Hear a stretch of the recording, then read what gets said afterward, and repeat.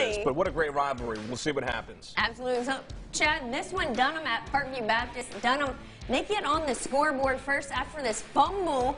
He's there to recover it, and then Parkview Baptist, they're going to try to get some things going offensively after the Tigers take a first 7-0 lead on this play. My man, CJ Golden, Move he is a workhorse. He's Keep like- it going. He's my size, just doing what he does best out there. Dynamic. Yes, got the first down there, and then this 33-yard field goal and makes it 7-3. Dunham still up, but look at the Tigers trying to get it going some more, and he will get this Watch one. out.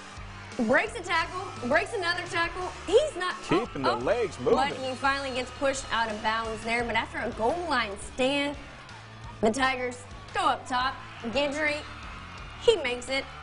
This one now, the score is currently 18-14.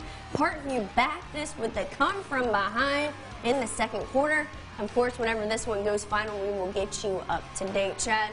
Some great ball games out there tonight. And down the stretch, keeping it close. One possession games, Yep. Jessa. We've seen it. It can shift on one given play. So Absolutely. we'll